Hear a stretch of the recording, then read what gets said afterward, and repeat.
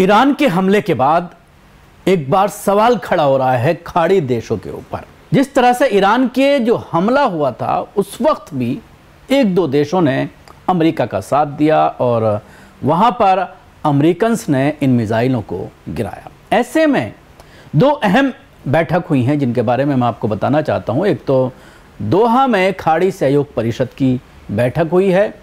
इस बैठक में बहुत बड़ी बात सामने आई है जिसकी उम्मीद इन अरबों से नहीं की जा सकती। लेबनान का समर्थन देने की बात कही गई है कि वो लेबनान के साथ खड़े हुए हैं।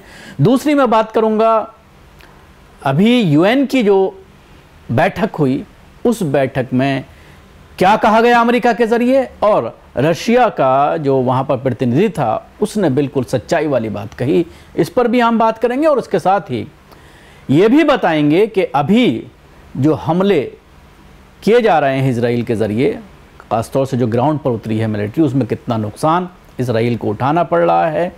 और भारत में इस हमले के बाद अंधभक्तों को मिर्ची क्यों लगी है, इस पर भी हम चर्चा करेंगे। तो सबसे पहले बात करते हैं, दोहा में हुई खाड़ी सहयोग परिषद की बैठक की।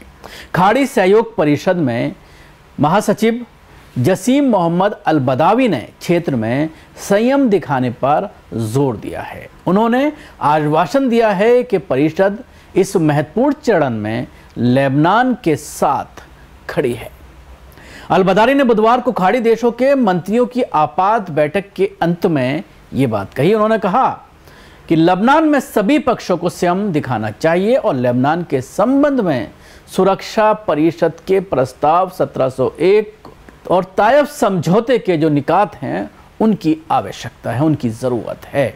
ये बात साफ़ तौर पर कही गई है। दोहा के खाड़ी परिषद की हुई इस बैठक में, जिसमें सऊदी अरब भी शामिल है, कतर यूएई, ये तमाम देश इस परिषद में शामिल हैं, तमाम खाड़ी देश इस परिषद में शामिल हैं, जो अमेरिका के साथ कई बार खड़े हुए नज़र आते हैं, लेकिन इस बार ऐसा लग रहा है कि ये बात जो उनके ज़रिए सामने आई है, अब सवाल ये खड़ा होता है कि क्या ये बातें इन तमाम देशों के ज़रिए, इन खाड़ी देशों के ज़रिए इसलिए कही जा रही हैं कि वहाँ पर आवाम इनसे सवाल कर रही है और पूरा मुस्लिम वर्ल्ड इनसे सवाल कर रहा है कि किस तरह से आप फ़िलिस्तीन के साथ नहीं खड़े हैं और कहीं ना कहीं इनको इसलिए भी लताड़ा जा रहा है कि ईरान, लबनान, सीरिया ये तमाम देशों में जो भी कार्रवाइयाँ की जा रही हैं, वो शियाओं के ज़रिए की जा रही हैं।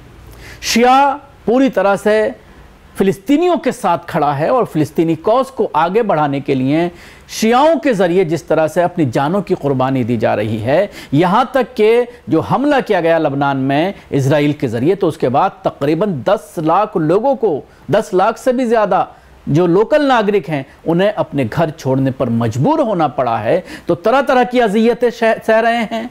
अपनी जानें भी कुर्बान कर रहे हैं, पाबंदियाँ भी लग रही हैं, हमले भी हो रहे हैं, लगातार बमबारी भी हो रही है, स्कूल, कॉलेज पूरी तरह से बंद हो गए हैं। लेकिन उसके बावजूद मजलूम फिलिस्तीनियों के साथ खड़े हैं।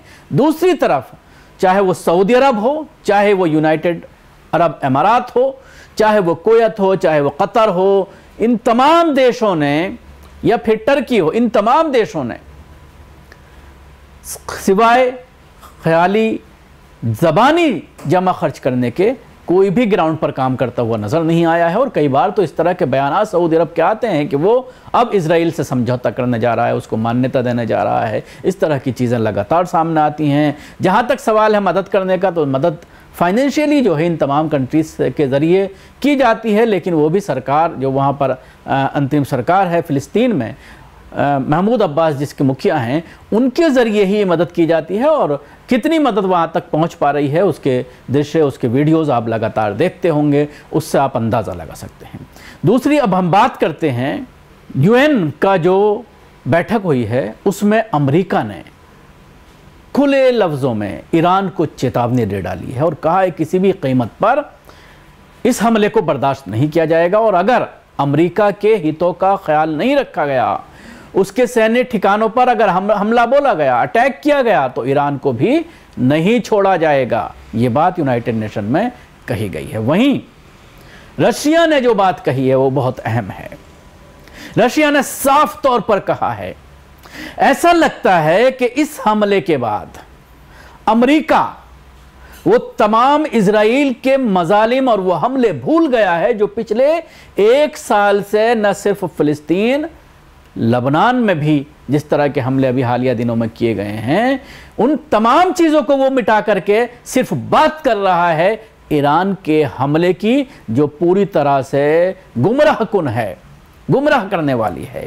पहले आप उस पर बहस कीजिए कि किस तरह से आतंक मचा रखा है इसराइल ने। फिलिस्तीन में साठ सत्तर हज़ार से ज़्यादा निहत्ते मुसलमानों को शहीद किया गया है और इस हमले के बाद भी लगातार रातों में निकलते हैं यहूदी इजरायली सैनिक और मुसलमानों पर अंधाधुन फायरिंग करके उनको हलाक कर रहे हैं, उनको शहीद कर रहे हैं।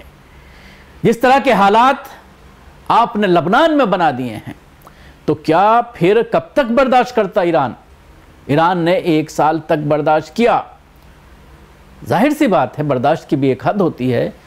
और जब आप हमला किया है तो आप बौखला रहे हैं, आतंकी बता रहे हैं आप कह रहे हैं कि हम इसराइल के साथ खड़े हुए हैं, लेकिन इसराइल क्या कर रहा है, इसको भी देख लीजिए। बहुत शानदार बात रशिया के ज़रिए कही गई है। इसके साथ ही ईरान ने भी अपना ख़त लिखकर इन तमाम चीज़ों का अदा किया है और कहा है यूनाइटेड नेशन को ख़त में कि हमारे ऊपर ये ये मजालिम ढाए गए, पूरी उसकी लिस्ट तैयार करके भेजी गई है। फ़िलिस्तीनियों पर जो आतंक मचाया जा रहा है इसराइल के ज़रिए और अमरीका के ज़रिए, उसका ज़िक्र करते हुए कहा है कि हमें मजबूरन ये कदम उठाना पड़ा है। अब सवाल यही है कि सिर्फ़ एक आदमी की ज़िद ने केवल दुनिया को, बल्कि उसके अपने देश इसराइल को भी बहुत भारी पड़ने वाला है। अमेरिका से मिले जहाज़ों और हथियारों से भरे भारी जो सामान है, वो ज़मीनी लड़ाई में उसे बहुत नुकसान उठाना पड़ सकता है। तरह तरह की वीडियो सामने आ रही हैं कि किस तरह से इसराइली लड़ाके जो हैं, वो लेबनान पर कब्ज़े की ज़िद में नेतन्याहू ने शहीद करवा दिए। तकरीबन चौदह इसराइली सैनिक मारे गए, जिनके डेड बॉडी लेके जाते हुए हेलीकॉप्टर के शॉट्स भी सामने आए हैं, उन पर हमला करते हुए भी शॉट सामने आए हैं। तो एक आदमी की सनक लगातार अपने नागरिकों को, अपने फ़ौजियों को जो है, वो मरने पर मजबूर कर रही है और लेबनान में जिस तरह से ग्राउंड पर फौज उतारी गई है, उसका अंजाम इसराइल को भुगतना पड़ेगा। जिन्होंने लेबनान में 200 मीटर आगे बढ़ने की कोशिश की तो हिजबुल्ला ने उन्हें ताबूतों में वापस भेज दिया। हेलीकॉप्टर के ज़रिए ये ताबूत मंगाए गए। पाँच अधिकारी भी मारे गए हैं और बीस के करीब घायल बताए जा रहे हैं। इसके साथ ही ईरान ने साफ़ शब्दों में इसराइल को धमकी दे डाली है। रात में जो हुआ, वो सिर्फ़ टेलर था। आगे ईरान ने कहा है, अब नेतन्याहू और सैन्य अधिकारियों का सफाया किया जाएगा। ईरान का ऐलान, ये सिर्फ़ टेलर था, पूरी फ़िल्म दिखाना है। इसराइल को बीच में जो आएगा, वो खुद जिम्मेदार होगा। ये सबसे बड़ी बात यह है कि जब से ये घटना घटी है, जब से हमला किया गया है ईरान के ज़रिए। तो बहुत सारे अंधभक्त बेचारे बौखलाए हुए हैं और ये कह रहे हैं कि एक ही दिन में इसराइल जो है वो ईरान को पूरी तरह से तबाह बर्बाद कर देगा, सड़कों पर ले आएगा, ख़त्म कर देगा। उसके सारे जो प्लांट हैं पावर प्लांट हैं या न्यूक्लियर जो प्लांट हैं या फिर उसके जो गैस के प्लांट हैं, उन तमाम को उड़ाने की बात कही जा रही है, जो बात कही गई है नेतन्याहू के ज़रिए तो हमारे जो भारत में बहुत सारे अंधभक्त हैं, उन्हें परेशानी जो है, वो इसराइल पर हमले से है, उन्हें परेशानी कुछ नहीं है कि मणिपुर में क्या हो रहा है, मणिपुर में किस तरह से पिछले एक सवा साल से जिस तरह से लोगों की जाने जा रही हैं, किस तरह से वहाँ पर लोग जो है परेशान हैं, पूरी रोज़मर्रा की ज़िंदगी वहाँ पर ख़त्म होकर के रह गई है, मफलूज होकर रह गई है, लेकिन दर्द हो रहा है जब यहूदियों को मारा जा रहा है, जब यहूदियों पर हमला हो रहा है, एक साल से इन्हें किसी तरह की कोई दिक्कत नहीं थी, क्योंकि मज़लूम बच्चों को, औरतों को, महिलाओं को वहाँ पर जिस तरह से मारा जा रहा था तो कहा जा सकता है कि ये भी कहीं ना कहीं यहूदियों की ही नस्ल से हैं।